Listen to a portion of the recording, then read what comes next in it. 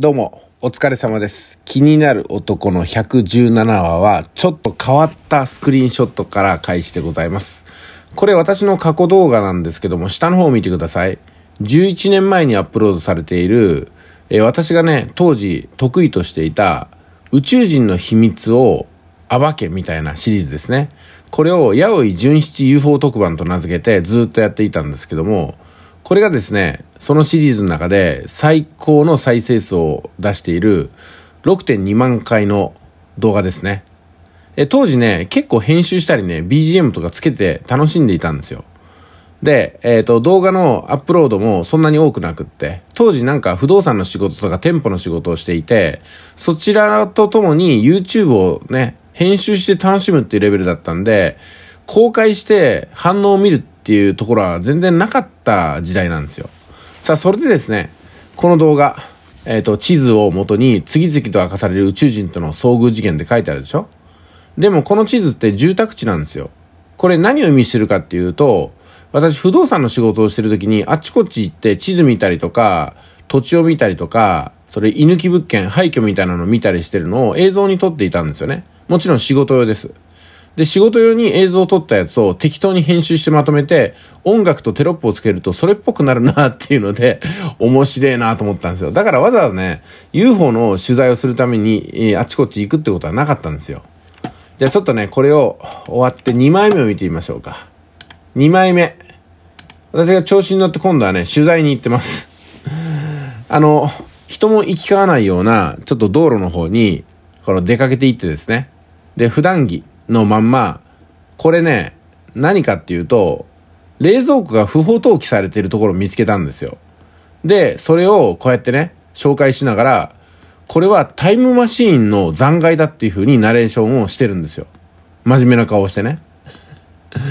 で、そうすると当時、ジョン・タイターっていうタイムトラベラーさんがテレビで話題になってたのもありまして、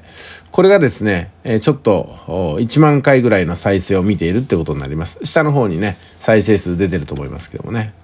こんなのもできるわけですよ。次。これも仕事中の撮影です。仕事中に、あの、取引相手にね、これ若い頃の私ですね。当時まだ40歳ぐらいじゃなかったかな。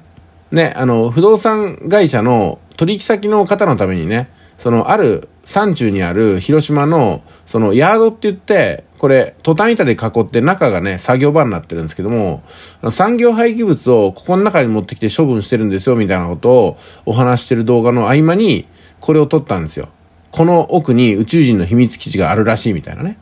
で、下の方に、中国地方一の自称、自称 UFO ファンって書いてるでしょまあ、これによって UFO ファンで、あの、宇宙人とかに興味がある近くの人に呼びかけてるんですよ。そういう動画を撮って住所も示していてね。で、当時から広島観光って会社ありましたんで。で、えっ、と、広島観光の代表が UFO 好きなんだなってことをこうやって仕事の合間に撮影してお知らせしてるってことですよね。これによって、あの、UFO のコミュニティって当時もうできたんですよ。で、コミュニティに参加するのに、毎月3000円くださいみたいなことをしたりとかね。で、えー開始、開放を発、あの、皆さんにお配りしたりとかしてましたね。つまり、こんなことでも集客になるんですよね。次の動画行きましょうか。次のスクリーンショットは、警備員の方がいますよね。これ単なる警備員なんですよ。それを上から撮影をこっそりして、厳重警戒な軍施設内部に潜入を決行とか書いてますけども、何のことはない。広島県にあるぬくいダムっていうね、ダムがあるんですけども、そのダムの警備員さんをダムの上から撮影してるだけなんですよね。ただナレーションと音楽だけでこういう風に見えていくってことです。はい、次です。次もダムの撮影なんですけども、はい。あの、ダムってね、あの、内部が見学できるんですよ。もちろん無料で。で、見学すると、こういったところもあるんですけども、これを撮影して、これが宇宙人の地下施設、その入り口だみたいにして、さっきの警備員さんの映像とね、絡めていったっていうやつですね。これが今回は1万1000再生を11年前に出してるのかなってとこですよね。なかなかのもんですよ。で、もう1枚ぐらい紹介しておきましょうか。えっ、と、私がですね、あの、ランチを、の出先で、不動産の仕事をしてる出先で食べてるところだったんですけども、その公園みたいなところでね、食べ終わった後にこの撮影をしたんですよ。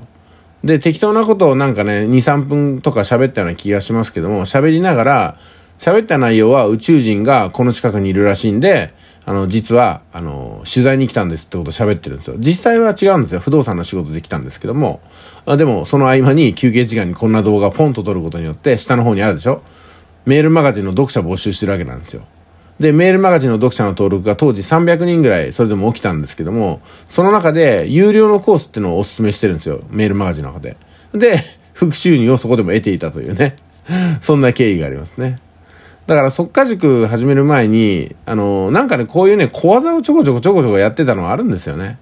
で、方向性も決まらなかったですし、特に指導者がいるわけじゃないんで、全部、あの、オリジナルの手法だったんですが、まあでもね、それでも、なんぼか収益になって、可能性ってのは感じてましたね。うん。なかなか面白いでしょ？この、八百純子シリーズってのは動画概要欄に今回ね、いろいろ貼っときますので、よろしかったらご覧いただければと思います。ということで、つかみは以上です。本編にどうぞ。